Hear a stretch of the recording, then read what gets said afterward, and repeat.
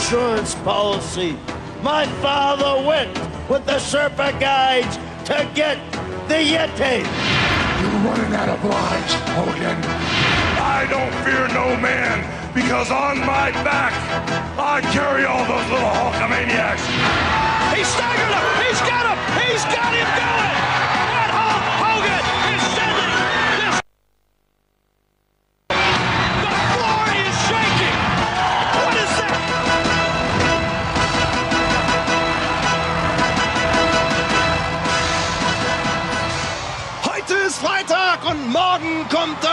Liebe Fans. Herzlich willkommen bei WCW Special an diesem Freitag und bei mir wie immer an jedem Dienstag, Samstag und Freitag ist Peter William. Herzlich willkommen, lieber Nick, und herzlich willkommen, liebe Fans im DSF. Ja, ein Special aus aktuellem Anlass, so steht es im Videotext. Und der aktuelle Anlass ist natürlich auch Hawk, weil er morgen natürlich zu sehen sein wird. Aber auch das, was wir eben gesehen haben. Monday Nitro wirbelt in dieser Woche schon alles durcheinander. Peter, da müssen wir gleich nochmal drauf kommen, was wir gesehen haben. Ja, gute Nachrichten auf jeden Fall. Und Hawk hier zu sehen gegen Rob Starr. Ja, gute Rusty sagen wir immer wieder. Rusty wegen seiner roten Haare. Ja, gute Nachrichten weiß ich nicht, denn der Dungeon of Doom, das hat man kurz im Ausschnitt von Nitro gesehen, hat eine Versicherungspolice präsentiert. Soll Ja. heißen, einen, irgendetwas, jemand, irgendwas, weiß der Teufel, was das sein soll, in Ja, einem ja. Eisblock. Und äh, wir haben gesehen, dass der Giant und Hulk Hogan schon aneinander geraten sind am vergangenen Montag. Und damit nochmal herzlich willkommen bei WCW Special heute am Freitag. Ja, und Road Warrior Hawk morgen also gegen Kurosawa zu sehen. Und heute deswegen ein Warm-up, wenn man so will. Denn Rusty Starr dürfte wohl doch nicht die Chancen haben, hier Road Warrior Hawk zu besiegen. Ja, gleich äh, noch ganz schnell der Rundown der heutigen, heutigen Sendung. Das dessen, was wir alles im Programm haben. Ein Tag Team Title Match. Harlem Heat werden antreten gegen die American Males. Außerdem werden wir Vicky Wall Street sehen, die State Patrol, Lex Luger und vielleicht einen kleinen Test auch in Sachen Ric Flair und Sting. Peter, das ist ja eine Sache, die ist immer noch nicht so ganz sicher, was da nun Sache ist. Der Stinger ist nach wie vor etwas misstrauisch. Kann man Flair trauen, kann man nicht? Großes Fragezeichen. Ja, und äh, du weißt ja, dass ich auch der Meinung bin, äh, dass er da vielleicht nicht so falsch liegt. Ah, du bist, du bist kritisch, ja? Ja, doch, kritisch von Anfang an gewesen, als es äh, überhaupt aufkam. Und Lex Luger betont hat, dass er äh, durchaus vertrauensvoll ist. Und hier geht es mit einem Dropkick los. Road Warrior Hawk. In Japan ganz, ganz erfolgreich gewesen wieder. Ja, und vor allen Dingen wieder vollends genesen nach dieser miesen Attacke von Kurosawa. Denke ich mal, präsentiert er sich in sehr guter Form, um, wie heißt es so schön, Rache zu nehmen, eine Rechnung zu begleichen. Eine Rechnung Abend. zu vergleichen, hört sich vielleicht auch besser an, ja? So, jetzt, Ausheber Buddy Slam mit Rusty. Ja, ja, Rusty Star, denke ich, ist wirklich nichts, nichts anderes als Kanonenfutter hier vor Hawk. Der ist in guter Verfassung. Flying Clothesline jetzt am Boden und das vom Cover. dritten Seil und das dürfte es gewesen sein und das ist es auch. Road Warrior gerüstet für morgen bei Halloween Havoc. So, liebe Fans, ihr habt viel geschrieben in Sachen Nitro, deswegen haben wir wieder ein paar Bilder. Ich weiß, ihr möchtet gerne was wissen zu Nitro, kann ich leider noch nichts dazu sagen. Ich muss aber noch ein paar Dinge gleich loswerden zu Nitro, aber gleich sehen wir noch einen Ausschnitt. Wir haben es ja am Opener schon kurz gesehen von WCW Monday Nitro und da geht es natürlich um die Dinge, die sich auf den morgigen Abend zuspitzen, nämlich um King Curtis, den Dungeon of Doom, den Giant und so weiter. Und hier haben wir Minjin im Nitro Control Center. Und er spricht natürlich auch von der Money Nitro Show. Aufregend, wie sie war. Und hier haben wir unsere amerikanischen Kommentatoren. Und dann passierte etwas, das Licht ging aus. Ja, die drei Kommentatoren, Bobby the Brain, Eric Bishop und Steve McMichael, etwas überrascht. Und dann kam King Curtis ja, von der Decke geschwebt und kündigte an, dass das Versicherungspaket, was immer er auch damit meint, angekommen sei, direkt aus dem Himalaya, aus der Nordwand des Mount Everest. Und die Wächter der Finsternis, so King Curtis, hätten 13 Tonnen Eis verpackt und in diese Halle bei Monday Nitro in Dayton, Ohio gebracht. The Super Guides have dug out a 13 ton of ice. So, und äh, er kündigt dann an, dass dies was natürlich ganz besonders auf den morgigen Abend gemünzt die Versicherung des Dungeon of Doom ist. Und äh, nach einiger Zeit ging dann auch wieder das Licht in der Halle an. This Ja, is und the dann hatte Mean. Gene den Taskmaster und den Giant und konnte sie befragen the über Halloween. Havoc. When I get you in the ring, Halloween Havoc, I will take your last Der life Giant kündigt das an, was er the in Taten schon auch demonstriert hat. Er sagte, Hogan, ich werde dich, wenn ich dich in die Finger bekomme, the bis auf das letzte bisschen ausquetschen. Ich werde dir den Gürtel abnehmen und du wirst feststellen, dass ich der einzig echte Unsterbliche bin. Und jetzt hören wir natürlich noch, was der Hulkster dazu zu sagen hat. Because the only thing to fear is evil itself, brother. Und er sagt, das Einzige, wovor man Angst haben muss, ist die Angst selbst. Und ich werde in. Motown in Detroit in der Motor City aufhören, meine Wunden zu lecken. Und dann gab es die erste Auseinandersetzung zwischen dem Hulkster ganz in schwarz, also Ja. dem dunklen Hulkster und dem Giant im Ring an diesem Abend. Und der Macho Man war dann auch dabei. Etwas später klärten die beiden den Ring und dann passierte das, was sicherlich ein Riesenlicht auf morgen wirft. Man hört diesen, dieses Geräusch, keiner weiß, wo es herkommt. Und es kommt in Gestalt und Person die angesprochene Versicherungspolice zum Vorschein.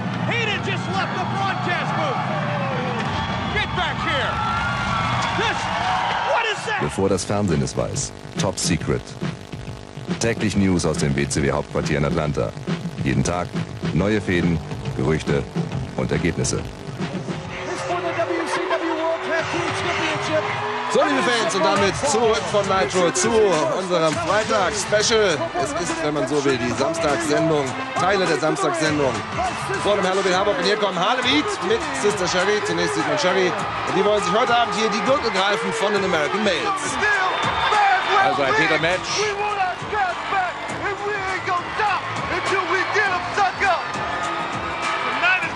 Hat schon toll ausgesehen, Nick. Ne, Wie dieser Eisblock zerworfen ist.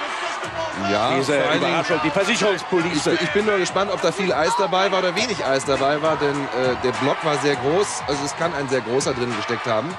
Oder aber sie Na haben ja, viel Eis ich genommen, klein, wie, wie beim Drink. Du meinst, dass ein Zwerg drin war? Trinkst du gerne mit oder wenig Eis? On Ich the rocks. trinke gerne on Yeti- the, on the Rocks, Yeti aber das on war schon ein. Rock. Das muss man mal sagen. Ja, vor allen Dingen, das ist dann der zweite große. Ist nur die Frage, ob der morgen Abend mitmischt. Der zweite Gigant, ja. Und Harlem Heat, natürlich gut vorbereitet, wie immer. Wir sind schon zwei absolute Athleten. Aber die American Males werden sich ihren Gürtel nicht so schnell entreißen lassen. Hier kommen Markus Bagwell und Scotty Riggs.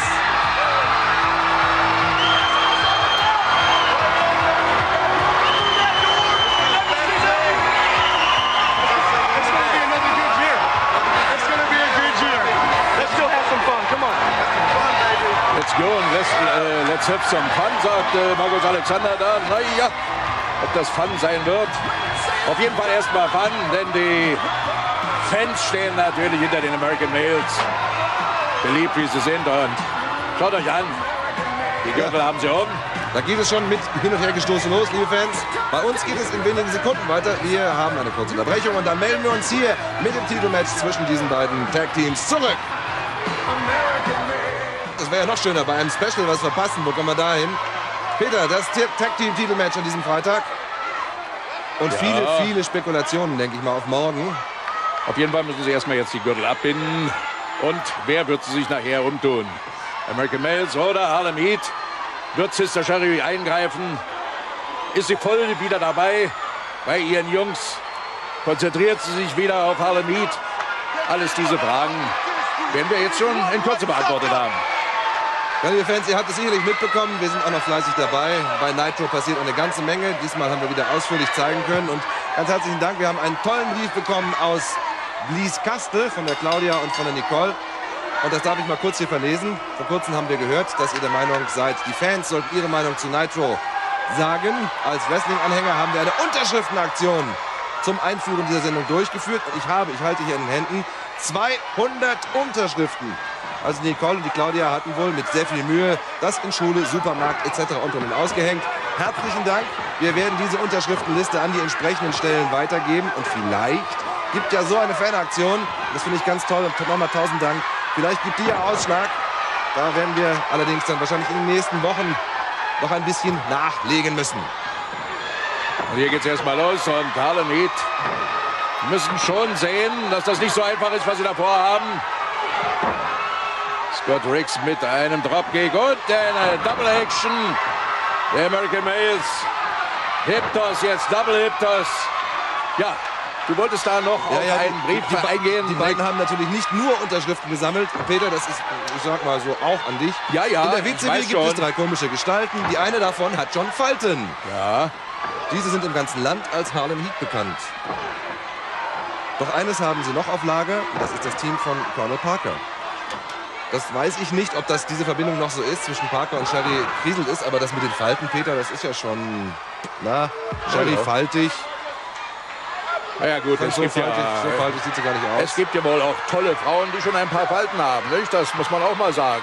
Nick können manchmal interessanter sein als manch Junge. Also darüber wollen wir uns auch gar nicht unterhalten, Nick. Das kommt auf den Standpunkt des Betrachters So an, Peter. ist es. ja. Erst einmal war das ein Standpunkt und Ui, wei, wei, da wollte er seinen Gegner überspringen und das ist dann doch nicht ganz gelungen. Also auf dem Rücken hat sie auf jeden Fall keine. Falten, das ist ganz klar, denke ich mal. Ja, und die Haare sehr geschickt, was sie da macht. Über die Falten, die ha Haare über die Falten gelegt, ja. Ja. Und Markus Bagwell jetzt mit Booker T. Und er überspringt jetzt. Oh, da wollten beide ansetzen zu einem Dropkick. Wäre fast ein Spinebuster geworden. So, und jetzt Scotty nach oben. Double Action. Und Booker T kommt eigentlich nicht dahin, wo er hin wollte. Er wollte gerade ablösen. Ja, stattdessen kommt er in Mattennähe, soll also heißen auf den Boden. Armbar jetzt. So, jetzt wiederum Wechsel beiden American Males. Na, erstmal die Double Action. Und Booker T muss eine ganze Menge einstecken. Also auf diese Art und Weise, denke ich mal, werden sie die Gürtel nicht gewinnen können. Nee. Das ist wohl ausgeschlossen. Und jetzt auch noch ein Power Slam. Body Slam. Aber Power war auch dabei, Kraft ein bisschen. Ein Body Slam mit viel Power und jetzt eine Double Action, Double Axe Handle Blow von oben vom dritten Seil. Und da scheint mir doch Booker T ins Match zurückzukommen. Wird aber eingehakt, Dominic Nelson jetzt. Kann aber herauskommen. Jetzt langsam müsste er mal ab, ablösen. Ich Ja, das wollte er schon mal. Ja, ja. Aber momentan kämpft er mehr. Ah, Double Action Marke Harlem Heat. Steve Ray nur mit dem Bein nach oben und sofort geht Scotty Wicks auf den Boden und jetzt der Wechsel. Ja, und äh, damit ist Scotty Rex jetzt derjenige, der einstecken muss. Am Boden. Fist, Fist, Kick, Kick heißt es jetzt und der Elbow. Als Drop. Ja, fast ein Cover schon, was er da macht. Jetzt fühlt er sich durch Nick Patrick gestört oder aber der Auffassung, dass der hätte schon gezählt werden können. Oh, und jetzt natürlich die Möglichkeit, wenn Nick rüber. Patrick Clothesline.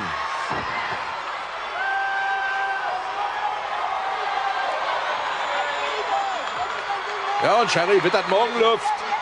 Ja, sie beschimpft jetzt Scotty Wicks. Na, was los? Schon keine Kraft mehr, sagt sie da. Und wieder die Ablösung bei Harlem Heat. Und der Scissor Kick. Ja, ja, ja. Die gefürchtete Waffe von Booker T. Ja, und äh, so ein Move, der leitet oftmals bei Harlem Heat schon das Ende eines Matches ein. Aber gegen die Champions durfte das wohl noch nicht so sein. Ausheber, Body Slam wieder. Und jetzt Elbow Drop. Ja. Man kann sich gar nicht lassen, Sherry. Nein, Sherry wieder in ihrer Rolle als Manager voll aufgegangen. Und nur ein Two-Count. Ja, und jetzt ist eigentlich Scott Riggs derjenige, der ablösen müsste. Side Suplex wieder. Und Booker T, jetzt nur einer ja, vom zweiten. Ich dachte, er geht hoch aufs dritte. Er springt daneben, dieser Knee Drop. Geht gründlich daneben und das dürfte die Möglichkeit zum Wechsel geben. Ja, aber Harlem Heat wechseln auch und deswegen kann wahrscheinlich, jawohl, Stevie Ray den Scott zurückhalten. Aber der geht durch unten und da ist Markus Alexander wieder drin.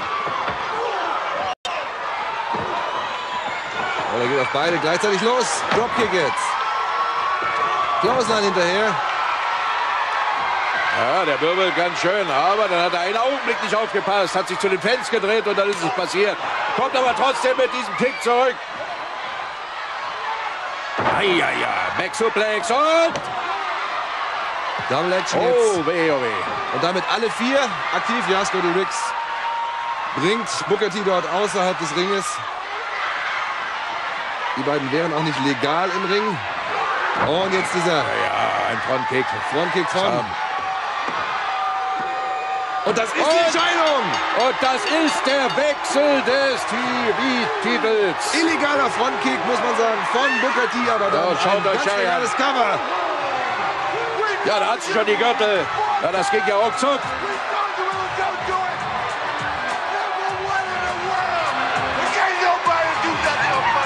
Zum, jetzt muss ich mal nachrechnen, vierten Mal sind sie damit. Dritten oder vierten Mal? Vierten Mal. Zum vierten Mal. Zum vierten Mal sind sie damit, also die WCW World Tag Team Champions Harlem Heat. Niedergeschlagen Scott Riggs. Ja, man muss sagen, äh, dass da nicht sehr viele fiese Aktionen bei gewesen sind. Es war also ein irgendwo tolles Match sogar, Nick. Ja, hier dieser Hier nochmal den Scissor Kick, natürlich. Ja, bei Harlem Heat hat man eigentlich ganz klar gemerkt, dass die beiden doch in einem Bereich noch Vorteile haben gegenüber den American Males. Und das ist im partnerschaftlichen Zusammenspiel. Ja, diese Aktion von Cherry, denke ich mal, auch wenn sie spektakulär aussieht, hat nicht zur Entscheidung beigetragen. Dieser Kick eher. Und dann das Cover von Steve Ray. Und damit der Wechsel des Titels. So, und Mean Gene hat die frisch gebackenen Champions samt der Managerin im Interview. Sie haben es wieder geschafft. Harlem Heat, frisch gebackene WCW Tag Team Champions und Sister Sherry. Ihr werdet heute Abend wohl noch viel feiern. Oh yes, I'm a very happy camper. Oh ja, natürlich bin ich American überglücklich. Males, it was a fluke. A little American Males, minor ihr habt die Retourkutsche dafür bekommen, dass ihr meinen Jungs unberechtigterweise die Gürtel weggenommen habt. And now, as the whole Und jetzt ist die ganze Welt Zeuge geworden, wie die Gürtel wieder dahin zurückgewandert sind, wo sie hingehören, nämlich zu den Champions. Zu Harlem Heat, Booker T und- und Steve Ray. Stevie Ray. Und die zum besseren Verständnis. Halt die Klappe, Okerlund. Ich möchte euch sagen, ich und mein Bruder, wir haben die American Males in der Pfeife geraucht heute. Das hätten wir beim ersten Mal bei Nitro auch schon machen sollen. Wir sind bei Nitro aufgetaucht, um zu beweisen, dass wir nicht umsonst die Champions sind, sondern bereit sind, diese Gürtel gegen jeden zu verteidigen. Zum Beispiel auch gegen Sting und Savage. Und zwar in jeder Zeit, zu jedem Ort. Kein Problem.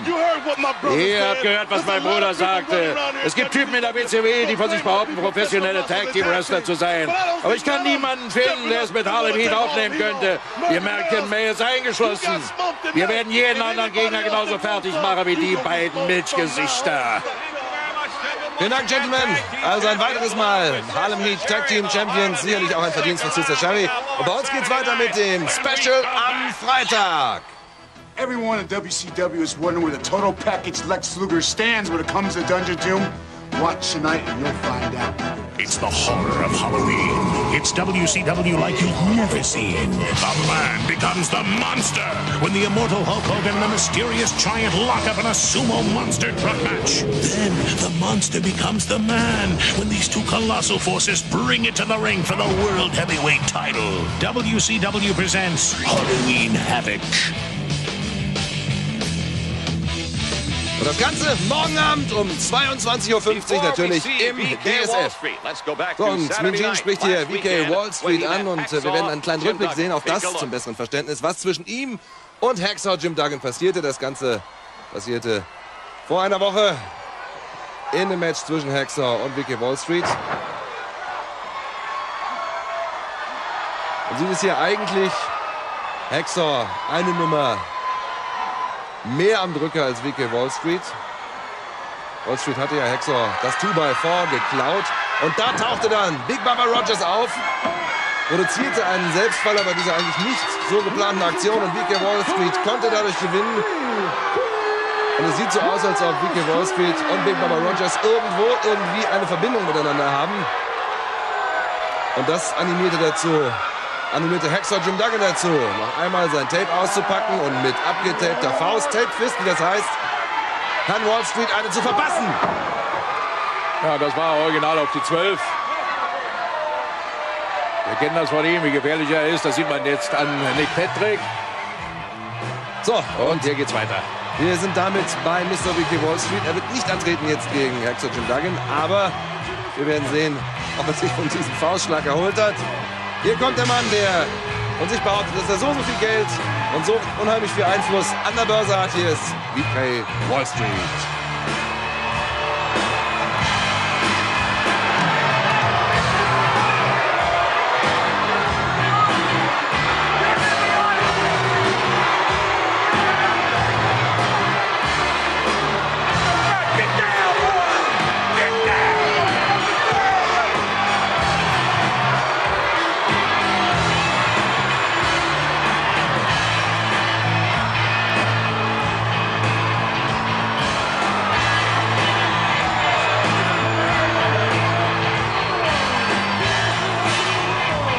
So, der Gegner von Vicky Wall Street, Chuck Williams. Und Peter, deine Frage an dich. Weißt du, was VK heißt? Nee, wir haben uns ja schon mal darüber unterhalten. Ja, also ich habe jetzt äh, ich, ich habe einen Tipp bekommen, was es nicht heißt. Das heißt auf keinen Fall very kind. Das ist also das Englische für sehr ja, das nett. hat er ja schon bewiesen. Ja, ja. Und ich denke mal, äh, er hat es mir erzählt. Und Er hat dir wirklich- erzählt, ja, dass er ja. nicht so kind ist. Nee, nee, das, deswegen. Äh, er will aber auch keine Antwort geben. Aber Ich wollte gerade sagen, wenn er dir das nett. erzählt hat, was es nicht ist, dann hätte er dir auch erzählen können, was es ist. Ich muss noch eins loswerden. Vielen Dank, liebe Nicole. Du hast ein großes Herz. Außerdem riecht das, was du mir geschickt hast, sehr gut. Ich habe in meiner Hand vier Röslein. Peter, siehst du, es gibt auch noch Fans, die sich um Kommentatoren bemühen. Ja. Von denen habe ich Blumen bekommen. So sieht's aus. Ne? Soll nicht traurig sein. Die Blumen sind ganz für mich allein. Ein nettes Gedicht hast du auch noch geschickt. Vielen Dank, liebe Nicole. Aus Gronau. Und äh, diese Blumen werden jetzt an diesem Monitor, an dem wir immer so ein bisschen auch das Geschehen rundherum verfolgen, angebracht. Also, Nick, das ist richtig. Das Ja. ist ganz absolut richtig. Aber dieses Match ist nicht schlecht. Ja, wenn du äh, trotz der Rosen und trotz des herrlichen Duftes von Nicole.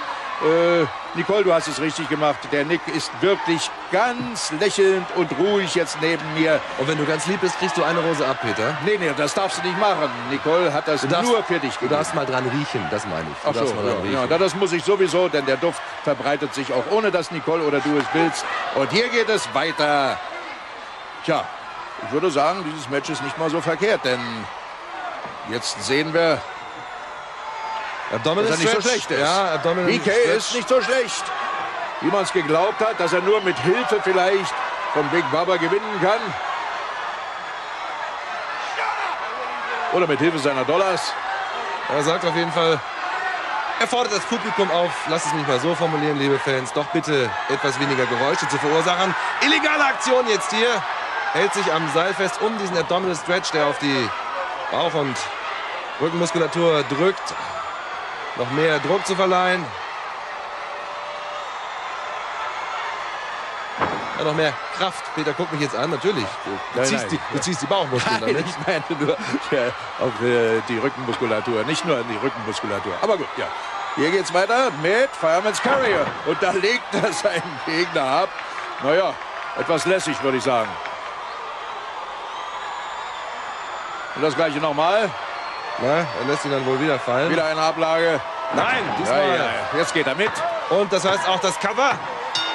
Jawohl, und das natürlich dann die Entscheidung. Vicky Wall Street also siegreich, ohne Hilfe. So, liebe Fans, und jetzt kommt noch der Mann, der sich so dramatisch verändert hat. Fast könnte er diesen Mann hier vom Aussehen gleichen. Zumindest schwarz ist er und gut rasiert. Wir haben ein Statement. Ja, wir werden in den Dungeon of Doom gehen. Oder zumindest mit dem Dungeon of Doom Peter, lass, ein Statement haben. Peter, lass dich überraschen. Es ist nicht der Dungeon of Doom, aber es findet dort statt. Es findet dort statt. Sullivan, mein Son! Sullivan, mein Sohn! Komm her! Und hier siehst du dein Verderben. Wisst ihr, fine, full, fun. I smell the. Ich rieche hier den Gestank an allen Ecken und Enden von diesem Giant hier im Dungeon of Doom. Wisst ihr, Freunde, während der letzten Tage nach Monday Night Show, als ich den Giganten unter der Power der Hulkamania taumeln und torkeln sah, Da ist das Motto für Detroit und die Unsterblichkeit. Einfach keine Angst zu zeigen. Sei schlau, Hogan, sei schnell, Hogan. Strecke den Giganten mit einem einzigen Schlag deiner Pythons nieder.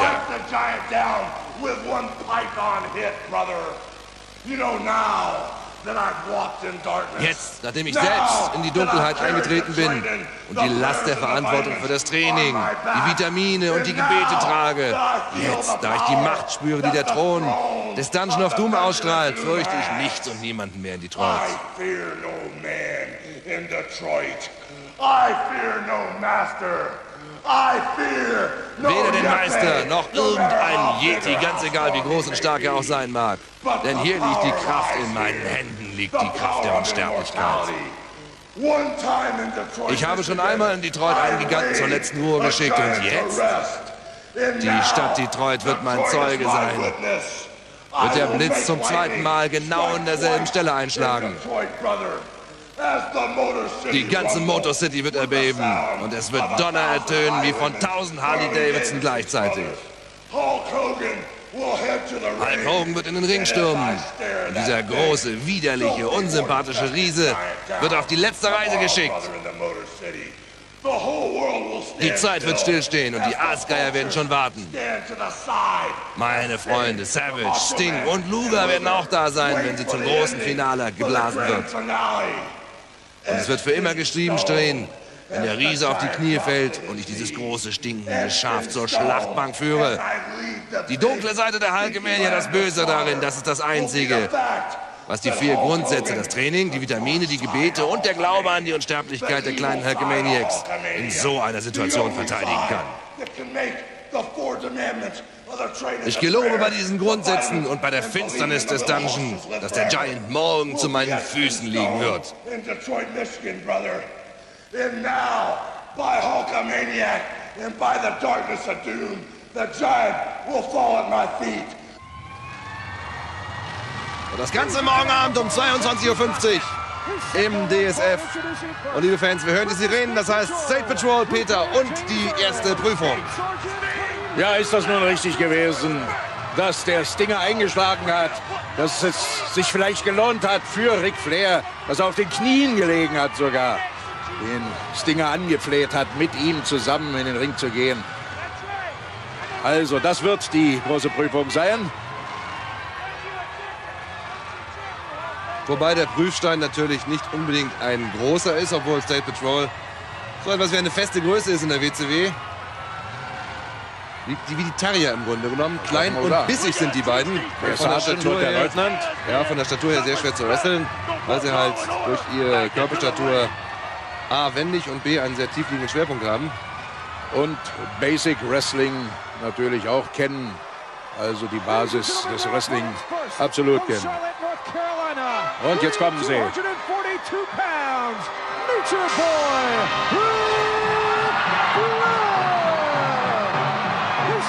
Nature Boy. California, 251 pounds, the United States. Heavyweight champion, Bruce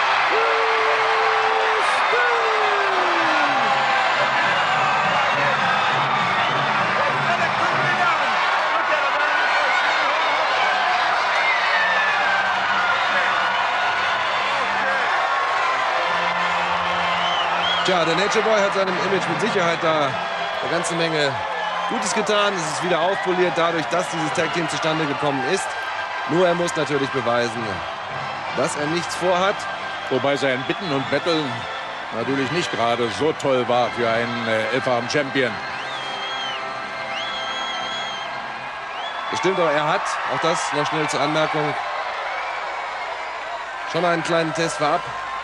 Reicht, beziehungsweise das Ding hat ihn getestet, denn die beiden hatten einen Probematch vereinbart und äh, da erschien das Dinger nicht. Ließ Ric Flair eine ganze Zeit lang warten und ließ sich dann erst davon überzeugen, dass Ric Flair auch alleine angetreten ist und hat ihm dann natürlich geholfen. Hier natürlich, liebe Fans, die Nummer der WCW Hotline. In diesen Tagen ist sie die einzige Quelle, um herauszukriegen, was eventuell im DSF weiter passiert. Und natürlich, was sich Backstage abgespielt hat beim Halloween Havoc. Also vormerken, am Wochenende glüht diese Nummer. Da gebe ich mein Versprechen. So, und hier zum Match und das Dinger beginnt. Billy Anderson als Referee.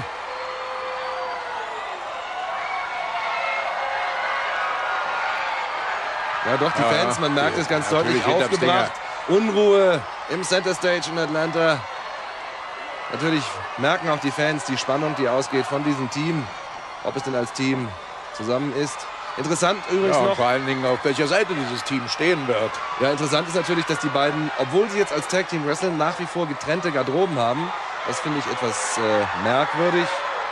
Normalerweise haben Tag Teams dann eine gemeinsame Garderobe. Aber das ist in diesem Fall vielleicht nicht verkehrt. Ja, aber es zeigt irgendwo, dass das noch nicht so ganz eingespielt Die ist. Distanz ist noch da und der Stinger fängt jetzt an. Beziehungsweise ist gleich erstmal in einem Wristlock drin. Man kann aber kontern. Nochmal, ja. Und da muss man einfach nach vorne mitgehen. Armbar. Und vielleicht nochmal nach vorne weg, um aus diesem Move rauszukommen. Nein. Armdrag und dann gleich wieder einen Armdrag zu nehmen. Also Ja, zeigt die Klasse. Aktion mit Echo. Und die das- erste Ablösung. Ja, So. erstes Wechseln und der Nature Boy. Keine Double Action. Löst nur ab, indem er jetzt den Wristlock hier ansetzt.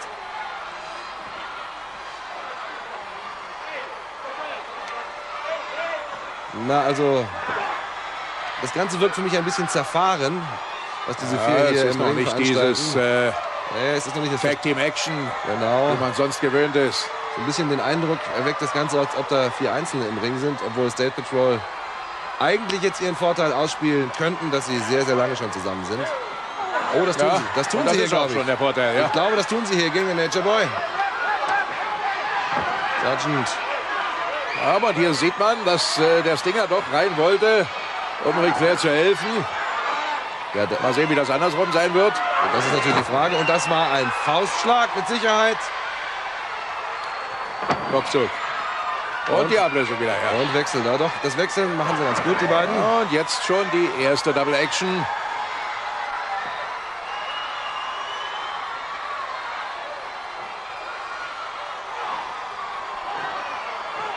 Und das überrascht mich jetzt ein bisschen, denn das Dinger ist also nun körperlich und von der Größe her mit Sicherheit seinem Gegner hier gewachsen.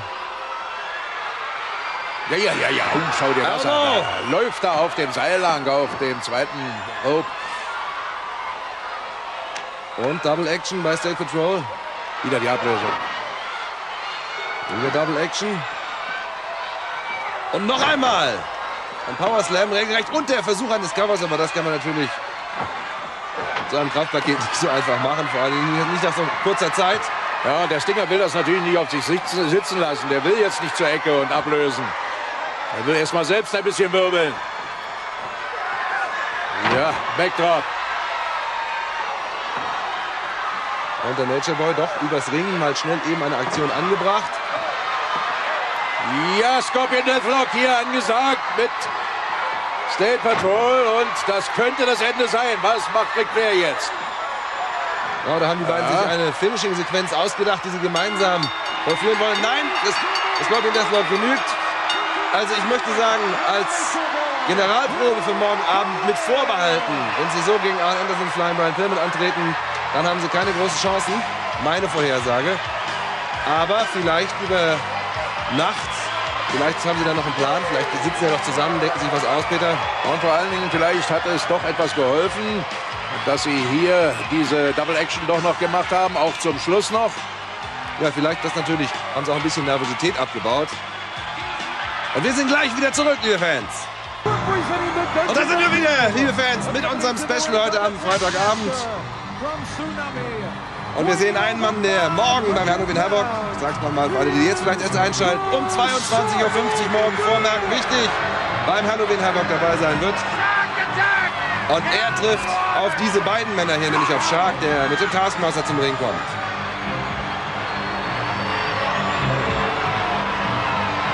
Peter, was hältst du von der Ankündigung, dass äh, der Taskmaster sagte, er will dafür sorgen, dass sich die ganzen Hulkamaniacs gegenseitig fertig machen? Mit anderen Worten, dass er vielleicht auch für Disqualifikationen absichtlicherweise sorgt morgen Abend. Ja, sich ist es ja legitim, dass man auch auf dieser, diese Art und Weise vielleicht einen Sieg herbeiführt. Aber was er im Hintergrund noch hat, das ist die große Frage. So, und hier kommt das Total Package. Hier ist Lex Luger.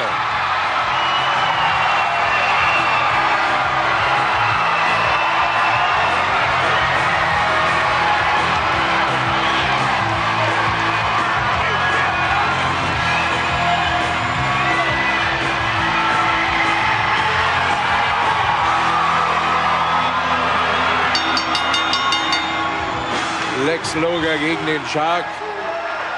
Tja, das vielleicht nochmal zur Erinnerung, die vielleicht für alle die, die die Woche nicht so ganz verfolgen konnten. Oh, und gleich Sprechchöre, Luger, Luger, Luger. Hier im Center Stage. Also, es geht natürlich unter anderem auch darum, er hat ja diesen Streit mit dem Macho Man Randy Savage. Und beide treten an gegen Mitglieder des Dungeon of Doom morgen Abend, sowohl Lex Luger als auch der Macho Man. Und wenn sie beide gewinnen, dann dürfen sie, so heißt es, gegeneinander wresteln, um diese Geschichte klar zu machen. Ja, und da sollte auch wirklich Klarheit reinkommen. Denn äh, wenn Misstrauen so aufgekommen ist, wie es hier geschehen ist, dass Lex Luger sich verteidigen musste, nein, ihr könnt mir vertrauen. Und Randy Savage ihm eben nicht vertraut, dann muss es geklärt werden. Also hier erstmal Kraft und Technik. Und jetzt verhöhnt Shark hier, Lex Luger. Steht dort wie eine Wand blockiert. Die Aktion von Lex Luger. Ja, da wird sich Lex Luger was einfallen lassen. Auf jeden Fall. Der Shark wird garantiert nicht die ganze Zeit so stehen bleiben. Wie viel PS hat dein Auto, Peter? Mein Auto hat 2 PS. 2 PS? Ich hatte mit ein bisschen mehr gehofft. Wieso? Ist ja wie ein Rasenmäher. Nee, das ist kein Rasenmäher, sondern der Wiener Fiaker. Ah, zwei Pferdestärken. Gut, morgen Abend auf jeden Fall ein paar PS mehr. Soll heißen 1500 Minimum.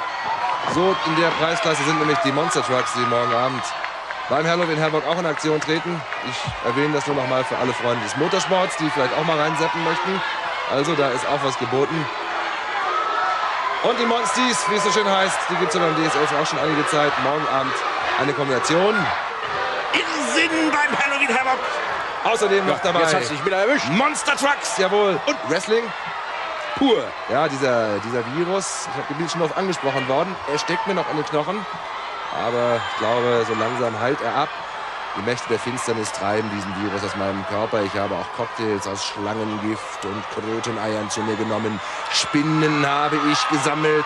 Und ich war bereits in einer ganz fürchterlichen Grotte mit schwarz und weiß angemalten Figuren. Und Lex Luger habe ich im Traum gesehen. Schon wieder vorbei, Peter, ist okay. Ja, ich lasse das einfach mal so dahin gehen. Außerdem hat dir wahrscheinlich jetzt die Rose geholfen. Der Duft der Rose hat dir geholfen eben. Oh, ich habe die, hab die Dornen abgemacht und sie zu einem wunderschönen kleinen Brei gemahlen. Und auch das hat wieder geholfen. Natürlich alles Blödsinn. Dornen esse ich nicht. So, Shark. Ja, zumindest äh, Shark immer noch wie ein Felsbrocken steht er. Er hat auch einen großen Dorn da auf dem Bauch. Ah nee, das ist die Haifischflosse. Oder ein Zahn gar, ne? Ist das ein Zahn?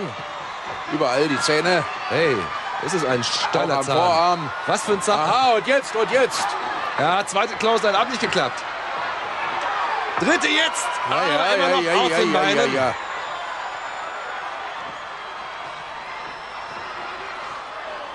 Oh. DDT vielleicht? Na, Suplex. Nein, nein, nein, nein. Mit dem nein, Gewicht Nein, nein, das dürfte halte ich nicht für ausgestochen. Er schafft es. Jetzt ist es denn die Möglichkeit. Ja.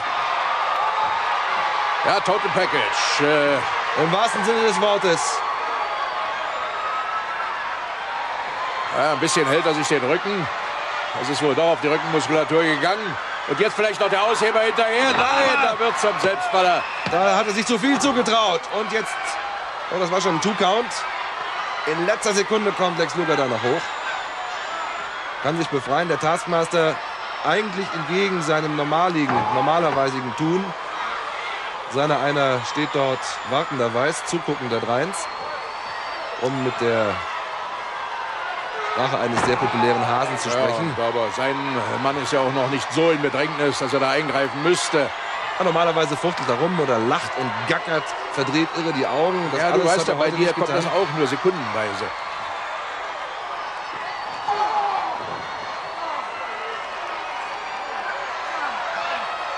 Und ab in die Ecke, ja. Lex Luger. Jetzt muss er ein bisschen aufpassen. Ja, Wenn der Shark jetzt seine Kraft ausspielen kann.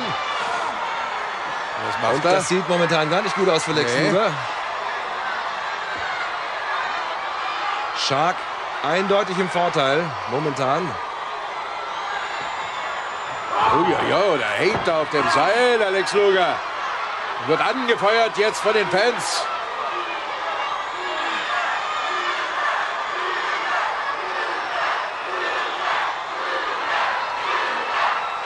Dort die Aufmunterungsrufe der Fans etwas nützen. Eines ist auf jeden Fall klar. Lex Luger dürfte nach dieser Auseinandersetzung hier morgen etwas geschwächt sein.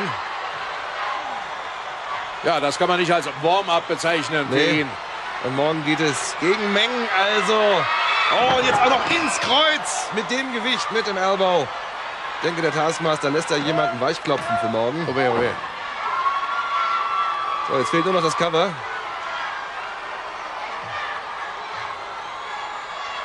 Er hat schon Schwierigkeiten, auf die Beine zu kommen.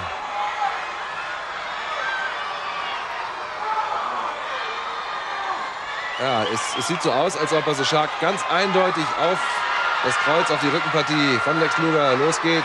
Ja, und mit diesem Berg kann er ihm natürlich die Luft rauspressen jetzt und das kostet Kondition. Muss mal versuchen, irgendwo zum Seil zu kommen. Da wird er selbst hingebracht. Und um das zu verstärken, wird er noch gegen die Ringverspannung gedrückt, geworfen.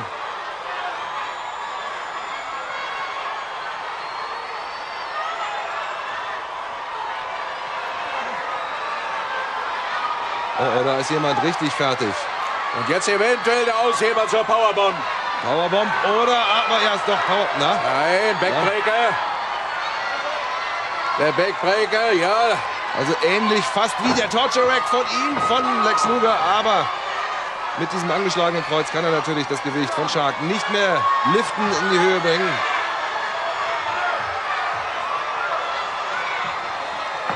Ja, ob er da noch mal ins Match zurückkommt. Peter, ich wage es zu bezweifeln, das sieht momentan für Lex Luger nicht gut aus. Kann hier abtauchen. Oh la la. Die kommt aber rechtzeitig aus der Ecke raus. Rübergeschickt. Was macht er jetzt? Bigfoot oder raus nochmal? Nein, Ja, das Knie hoch. er kontert also keine Aktion zweimal. Sehr clever, was er macht. Jetzt noch ein. Ja, Bigfoot, ah, Bigfoot, Clothesline hinterher. Ja, die reicht aber nicht. Noch einer, aber er kommt auf jeden Fall zurück ins Match. Oh, fast geflogen Ah, mit ja, dem Ellenbogen. Vorarm gegen die Stirn. Ja, da hat er so ziemlich alles ausprobiert, um den Shark zu Boden zu bringen. Und jetzt ist es tatsächlich gelungen. Aber eins ist sicher, Peter, er dürfte nach diesem Match sehr ausgelaugt sein. Das ziemlich war fertig. harte Arbeit bis jetzt. Ja, der Taskmaster erhält sich wirklich zurück. Ja, was tut denn jetzt? mal was. Steh auf, steh auf. Es könnte natürlich auch sein, Peter, wenn ich das hier so sehe, dass da eventuell zwei aus dem Dungeon of Doom zusammenhocken. Wenn ich das hier sehe, kein Treten, kein Kratzen. Na, Oh weh, oh weh. na.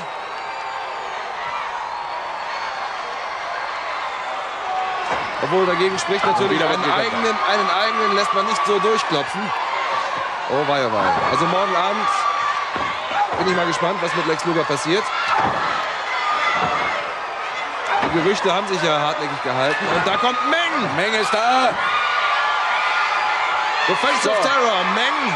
Auch Oh. Dungeon of Doom. Und der kickt. Ein Der kickt. Jetzt verstehe ich die Welt nicht mehr, Peter. Sidekick ins Genick. Da kann auch nur der Taskmaster dahinter stecken. Was bezweckt zum Teufel er denn damit? Ja, und ein geschenkter Sieg für Lex Luger. Und das ist natürlich schon wieder eine Story. Unschuldsmine, liebe Fans. Oh, bis morgen. Oh, so ein Pech auch, sagt er da. Verschwindet. Als ob er gar nichts damit zu tun gehabt hat. Ja. Ich bin mir ziemlich sicher, da hat er ganz doll dran gedreht. Und der Shark weiß überhaupt nicht, wie ihm geschehen ist. Oh wei, oh wei, das lässt ja auch vieles rechnen, liebe Fans. Ja, morgen, morgen, Halloween Havoc. 22.50 Uhr. Bis dann, ich zähle auf euch. Auf jeden Fall dabei sein.